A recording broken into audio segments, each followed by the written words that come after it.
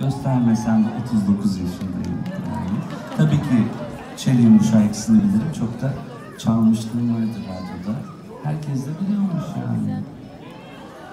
Son iki şarkı kaldı net söyleyeyim. Son şarkı Herkes Gider mi?